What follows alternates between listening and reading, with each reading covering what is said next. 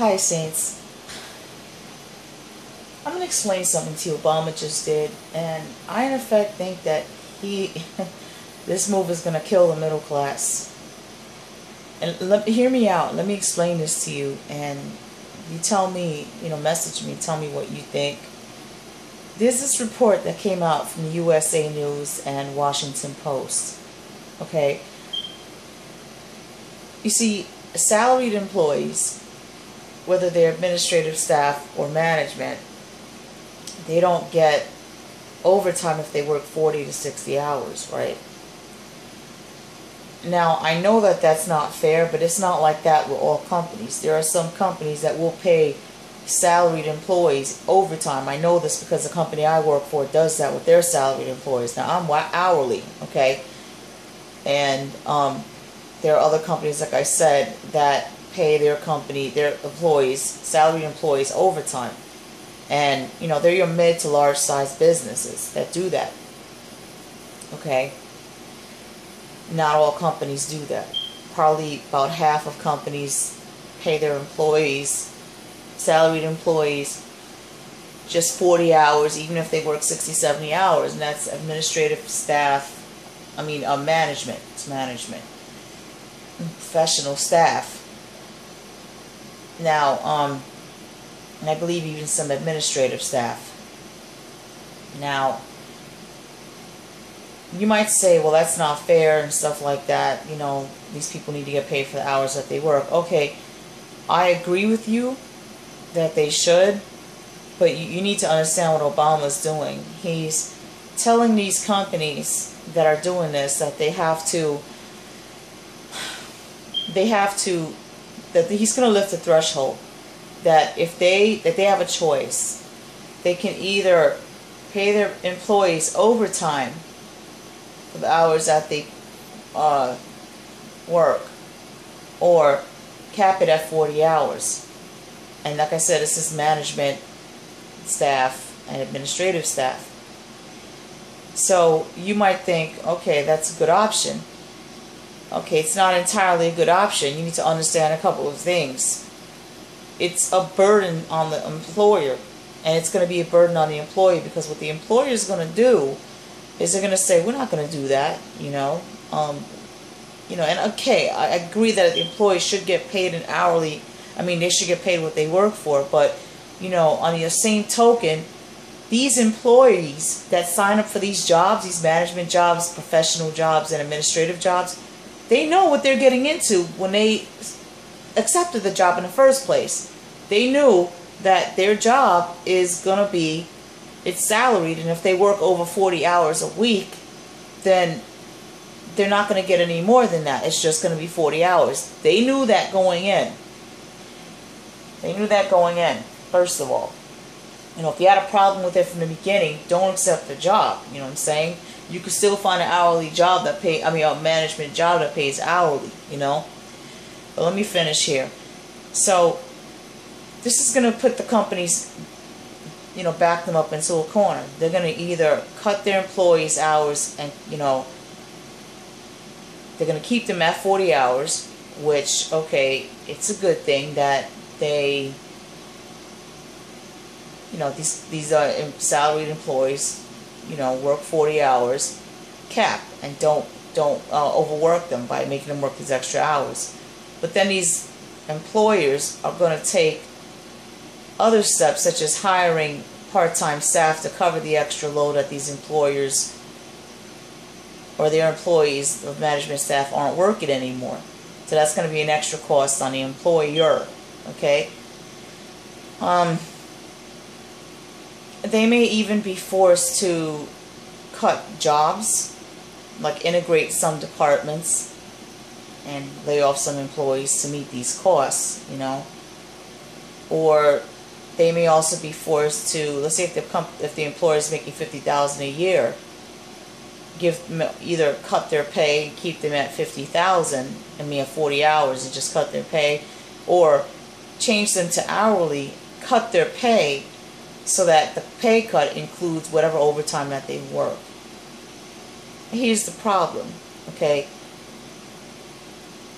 this is affecting those salaried employees that, you know, do get overtime. You understand what I'm saying? They do get overtime. They do get uh, outpaid for the extra hours that they work. They do get actual overtime. It's going to affect that group. And at this, at least 40% of employers that are salaried in mid to large businesses pay their salaried employees overtime. About 50 to 60 don't. So that's a big chunk of people that'll be affected, 50 to 40% those that are salaried and do get overtime, their hours are going to be at either 40 hours. You know the employers are not going to hesitate to do that to cut their hours. Or they're going to give them a pay cut and still allow them to work 40 hours. And that pay cut to include the 40 hours. Or they're just going to say you can't work on more than 40, still cut their pay. And also go as far as, like I said, as um,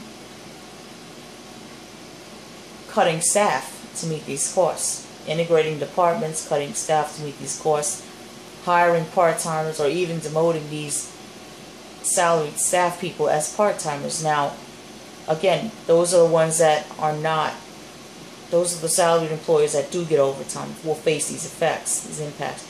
Those that are salaried that don't get overtime, again, could have a pay cut, could be limited to 40 hours, still get a pay cut, can be uh, changed to hourly and still um, get a pay cut, change, be changed to hourly to include the overtime that they may work. And that also applies to employees that are salaried and do currently get overtime.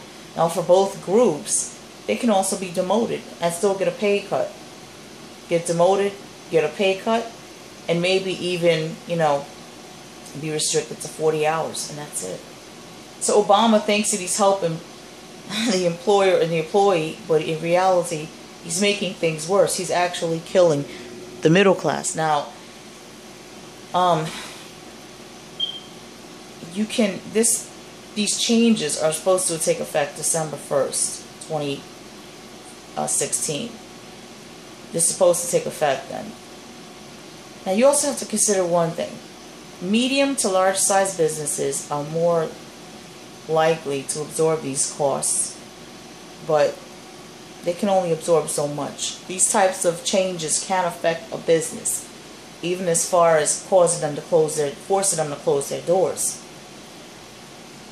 It can also prompt these businesses, like I said, to lay off lots of people to meet, to save costs, to meet these costs, to save and cut costs.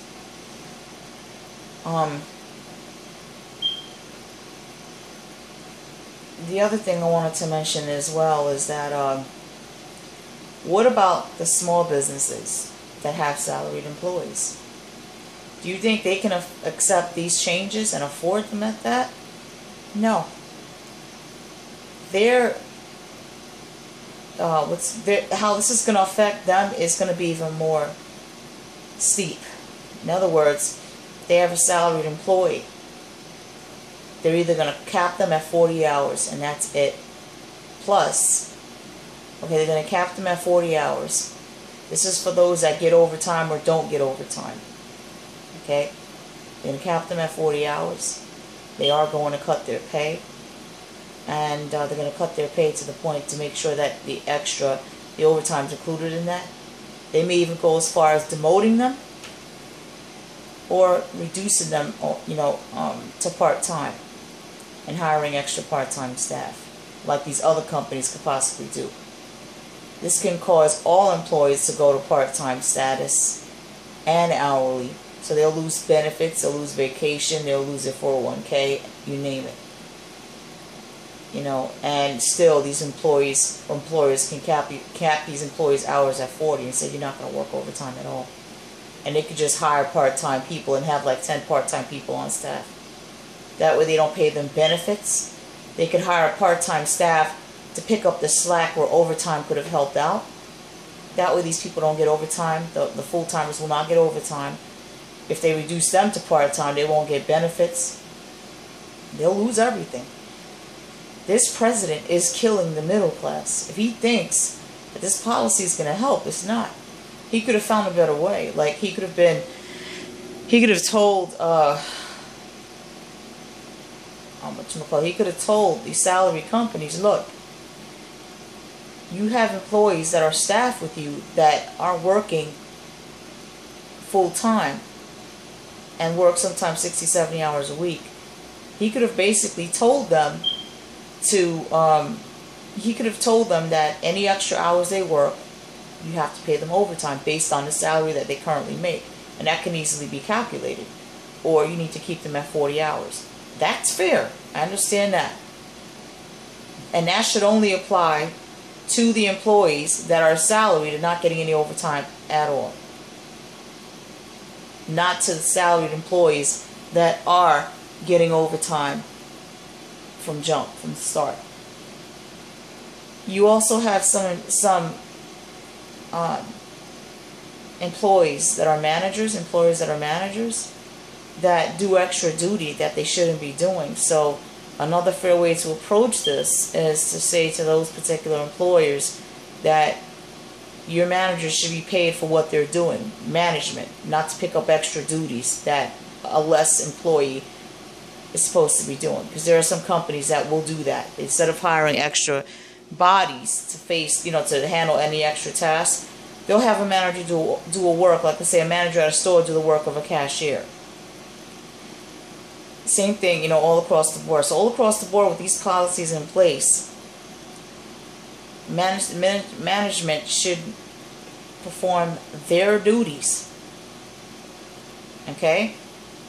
But you need to understand something. These employers that take these jobs regarding the salary that that the salary that the, the salary where there's no overtime and it specifies it, they also sign up for these jobs that says an extra duties as assigned. So, you know, Obama should have said that with these new guidelines in place, management should be paid for managerial duties, not anything beyond that. And if you're going to have them do extra work, then you need to give them a raise or something. Same thing for, uh, uh, no, like I said, for salaried employees all across the board. But he didn't put that in place at all.